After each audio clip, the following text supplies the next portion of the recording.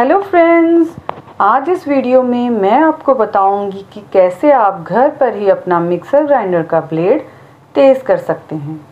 Friends कई सालों तक लगातार मिक्सर ग्राइंडर को यूज़ करने की वजह से इसके जो ब्लेड्स हैं, उनकी धार कमज़ोर हो जाती है।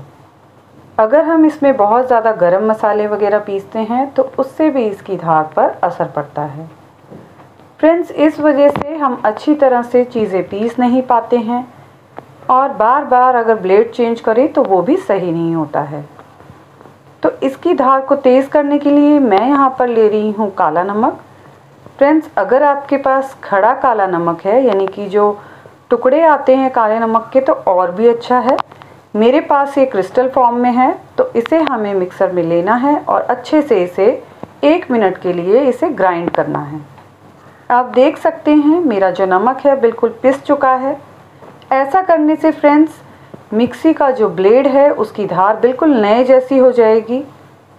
और ये हमें सिर्फ़ एक ही मिनट तक इसे पीसना है। इसके दो फ़ायदे होंगे, एक तो धार तेज़ हो जाएगी, दूसरा आप घर पर ही काला नमक पीस कर तैयार कर सकते हैं। फ्रेंड्स ये बहुत ही इजी ट्रिक है, आप ज़रूर यूज़ कीजिएगा।